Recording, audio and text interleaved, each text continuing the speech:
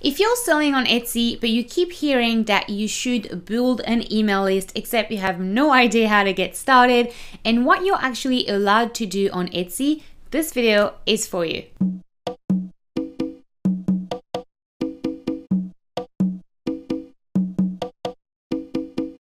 I'm Deb. I'm the founder of Tizzit Deco, a membership community for makers and handmade shop owners. And the reason I wanted to do this video for you today is that many Etsy sellers feel quite challenged when it comes to building an email list because it's simply not a feature that Etsy offers you as a seller. You can't just set up a nice little sign up form to get people to join your newsletter list. So, how are you meant to actually build an email list if Etsy doesn't really help you do it? And also because Etsy has a set of policies that you need to follow. So, to build an email list, let's go back to basics you need to have what is called an email service provider. These are companies like MailChimp or MailerLite that provide you with tools so that you can bulk email your email list. You should never use Hotmail or Gmail or anything to do that. You really need a separate account with an email service provider. And what they do is that they allow you to create a page on the internet with a sign up form, and you can then send people to this form, and people can join your email list using that form. And so once you set that up, and I do have other resources to help you do that um, if you need more help, which I'll link to below this video. But once you do that, you will get a URL that you can then share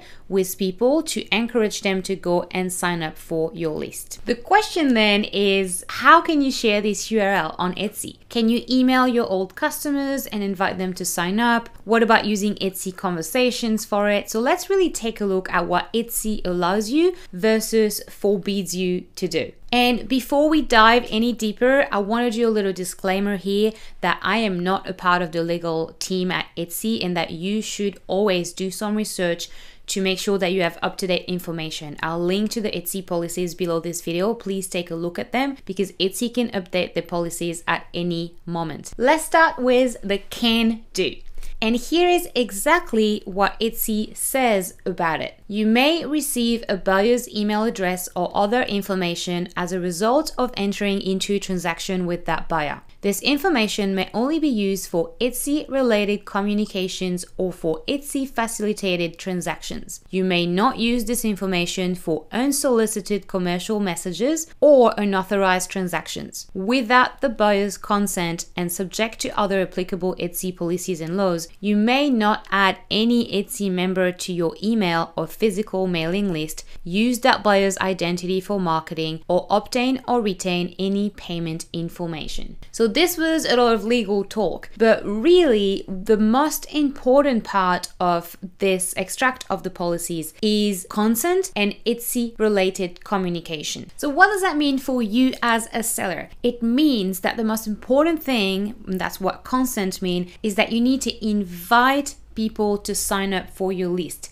You can't ask them straight away because that's spammy, and you definitely can't just add them to your email list without asking. So you need to invite them to sign up for updates, a coupon code, and then they get to decide whether they want to join your list or not. So, how can you actually invite those shop visitors to sign up for your list? Well, there's a few things you can do here. You can use that link, that URL I was mentioning at the beginning of this video that your email service provider is going to give you, and that's a link to your form to sign up to your list. And you can use that and share it on your shop about page, in your shop announcements, on your profile page, in your message to buyers, so that thank you message, in your product listings, both in the picture and in the copy. And what I mean by in the picture is that you can design a little graphic that you include as if it was a product picture so that when people browse your listing and they look at all the pictures, they will look at the picture of your product, of course, but then they will see a graphic saying, hey, to get 10% off or to get updates or sign up for a newsletter or whatever it is that you want to write on it. And that works really well because people look at the pictures before they even read the product description. So you have options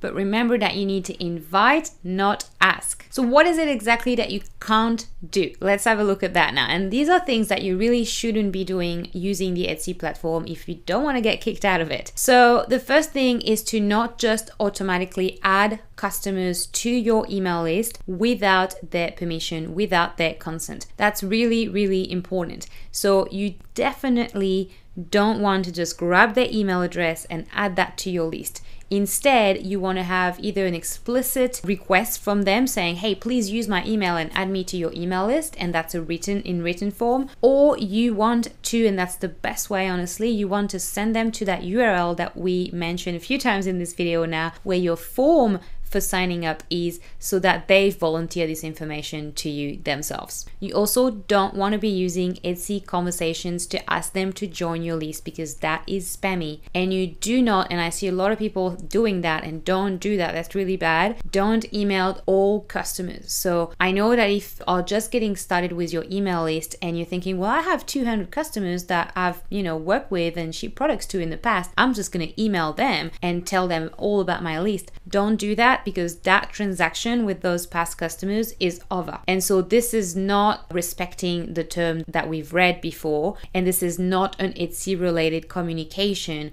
So it will be considered as spam. So that's why it's important that you start that email list right now so that you don't feel like, oh, I could have done that 200 customers ago. I hope this video was helpful for you. I'll put all the link I mentioned below this video, and I also have a free email guide that I really recommend you download. It's all just for sellers and will help you get started with your email marketing strategy. And when you unlock that guide, you actually also access to the rest of my free resource library for makers and handmade shop owners. So make sure that you get that free link just below this video. If you would like more video like this in the future and if you enjoyed this one, please make sure to subscribe to my channel and I will see you next Tuesday.